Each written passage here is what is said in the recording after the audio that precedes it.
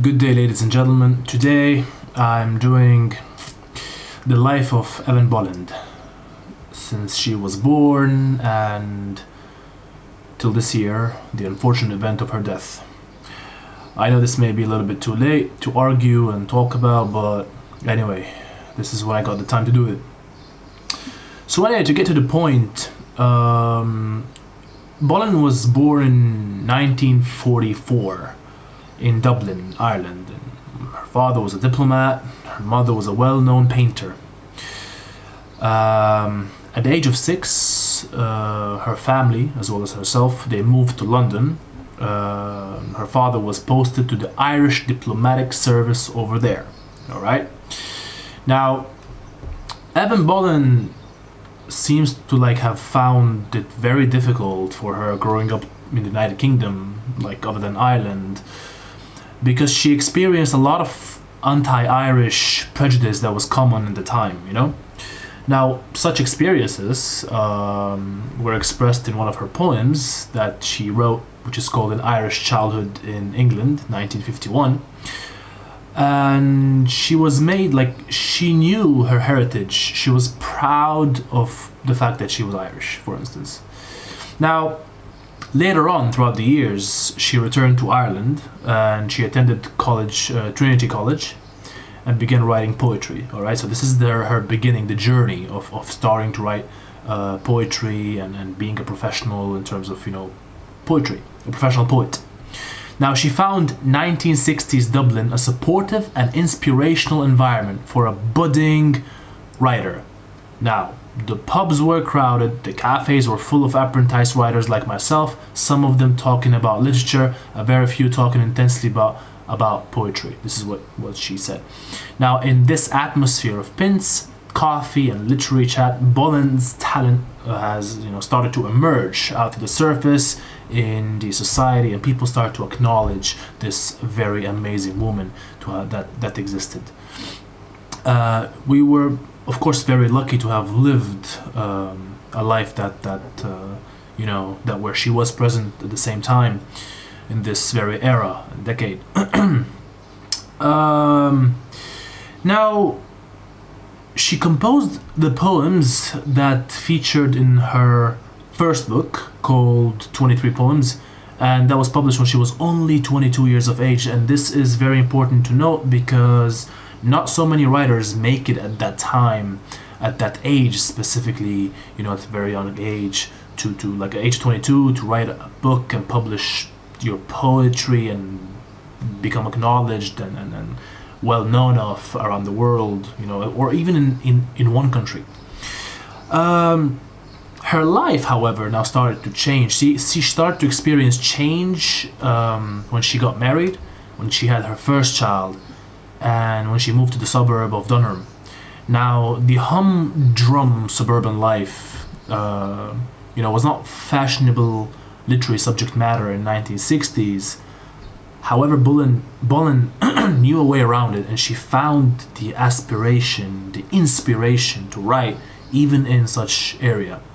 Now, she was keenly aware of how art had neglected to expose the very real and relevant landscape of domestic life, of course. Now, she had an interview with the Irish Examiner, and she, and I quote, she said, I was a woman in a house in the suburbs, married with two small children. It was a life lived by many women around me, but it was still not named in Irish poetry. So she was kind of stuck in a place where she, where poetry wasn't really, uh, like she could really reflect upon domestic life in that area. Like the life that she was living was really a poetic life. So she found herself being an ordinary woman living in the suburbs with a husband and two kids. Uh, what now? So she found herself occupying two variant roles. Now she was a wife and a mother, of course, the same. Like, and, and on the third hand, she was also a poet. Most importantly, for this video. Uh, initially, she saw no contradiction between being a mother and and and as well as her being a poet or aspirations of being a poet. And she said that I wanted there to be no contradiction between the way I made an assonance fit a line and the way I lifted up a child at night. So clearly, if we I mean, this video is for the sake of Eavan Boland and, and the remembrance of her amazing character, but in case you're writing for an exam or sitting for an exam, it's very important to remember how she related her life and her, her personal familiar life to poetry.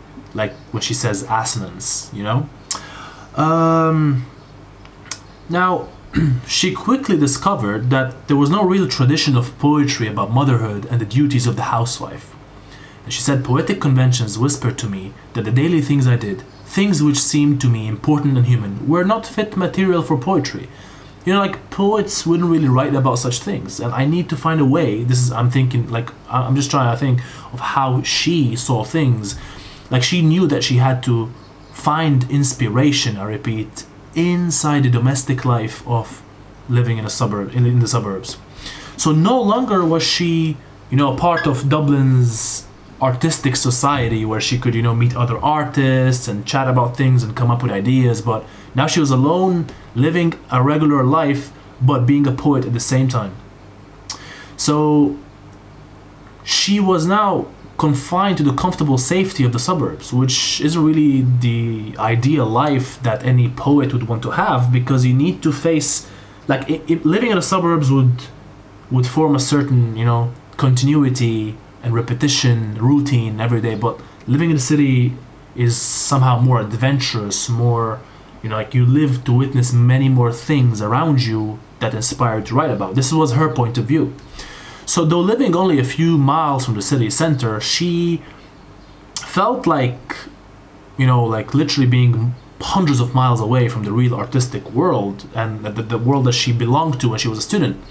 And to her literary friends who haunted the city center, the suburbs might as well not have existed. And she said only a few miles away was the almost invisible world that everyone knew and no one referred to of suburbs and housing estates, of children and women, of fires lighted for the first winter chill, of food put on the table. The so called ordinary world was not even mentioned. This is how she thought about it. Now, this is very important, a shift where her new writing began to explore this very much ordinary world that she thought wasn't inspirational enough, or at least at the beginning thought so she stopped writing. That's why when you read uh, Eavan Boland's poetry, you will see that her works are somehow divided. The older poems are more uh, related to like her life in terms of like being in the city and uh, you know like the center and living around her friends and all that and discussing such matters. But the later on poems that she wrote in her later on life are more somehow um, suburb related, Fami- like familial um, now, she said that poems I had been writing no longer seemed necessary or true, and now her work would focus more on her being, you know, a parent, a spouse, dealing with motherhood, children, husband, all these things that, you know, ordinary poets wouldn't really, you know, find inspiration to write about, but she made it. And that's why she's one of the reasons that she's special as a poet. Now, this these were the themes that she dealt with. Love and marriage and childhood and motherhood and parenthood or any hood that you can think of in terms of family.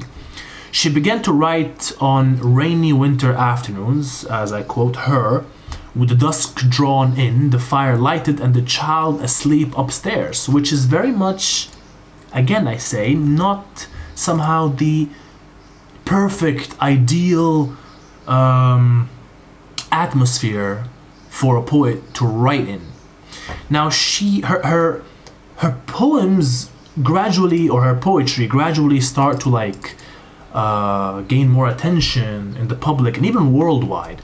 Now books such as 1975's The War Horse, of course, contains the War Horse poem, The Famine Road and Child of Our Time, uh, in her own image and Night Feed established or made Boland look like that she was a person or a poet that was writing about a woman's experiences, all right? Something that was extremely rare, not just in Irish poetry, but all around the world. Like it was very, you wouldn't find such type of writings in terms of poetry. Um, now she says, I know now that I began writing in a country where the word woman and the word poet were almost magnetically opposed.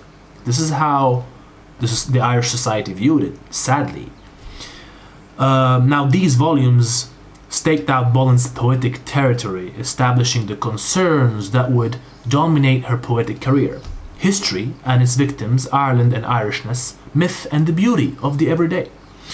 So, from the late 1960s um, to the late 1980s, she worked as a freelancer, believe it or not, as a freelance journalist as well as a broadcaster. Right, she wrote articles for the Irish Times, which is not a bad thing. It's amazing, at, even at that time, and as a woman, um, and producing programs for the RTE. Now, since the mid 1980s, she has taught writing at several American colleges. She had taught writing. Um, she pursued a career in terms of education and writing, but that didn't really drift like much further away from you know poetry because she taught writing which is the essential element of writing poetry all right? Um, this included the prestigious international writing program at the university of iowa. Now she was lastly before she died she was a professor of english at stanford university which is by the way magnificent and you guys you all guys know what stanford university is and its ranking like it's one of the most prestigious world renowned universities so she kind of made it. Not kind of, she definitely made it. Uh, and this is what divided her time between Ireland and the United States. So, um, what is Boland's poetry really about? Like her work? Um, it is about the forgotten voices of Ireland. She's a she's a patriot. She writes about wrote about. I keep saying writes. Very sad, but she wrote about um, Ireland, the pride, the, the country, the victims, the the the bombings, the a lot of the war, for example. She she concentrated on that. She talked about the romanticized history of Ireland's independence as well, and the heroic stories coming out of the you know to, to shape the Irish history and society as well that we have nowadays. Um, her sense of nationhood was exposed and, and, and flawlessly uh, spread in her poetry. Um, referring to the enormous social trauma of the famine, Boland indicated, uh, she said, I see that as a watershed, a powerful once and for all disruption of any kind of heroic history. The most wrenching part of the story of the famine is how utterly defenseless people were in the face of a disaster they couldn't control. It's also surprising to see how little the writing of that time actually turns to what was happening. Um, looking at the 19th century was the first time I began to think that writing could add to a silence rather than break it. It was interested, I was interested in turning a light on the silences and erasers that we learn to tolerate in the name of history. This is quoted from her.